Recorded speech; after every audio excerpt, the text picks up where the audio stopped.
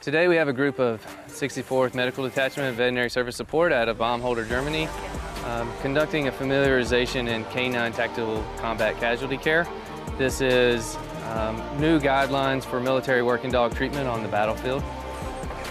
Military working dogs are used across the force for a number of operations and, and usages. They are absolutely a force multiplier. They can do sentry and detection work that is, is unequivocally better than any technology we have. And for that reason, it's very important that if a military working dog is injured, that we can provide proper treatment and get them back to doing the, their job. These veterinary global health engagements, and more specifically uh, military to military engagements, are extremely important for the security cooperation objectives of both of our countries. They're always working together. Um, we saw that firsthand during the Defender 21 exercise, where our military working dog handlers were paired up with Hellenic Army military handlers as well. And the interoperability and the ability for them to understand how each other works is indispensable. Canine Triple C is important because it makes us work effectively in the battlefield.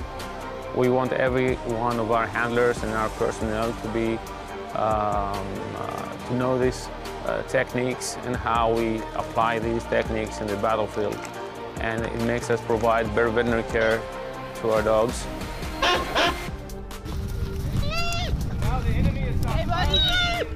It is and a great training as a whole. I cannot say that one part is more crucial than another. I enjoyed all, all of it. I do think that my colleagues will also like it and of course our handlers and our trainers will also see how important it is for all of us to have well-trained personnel during the battlefield.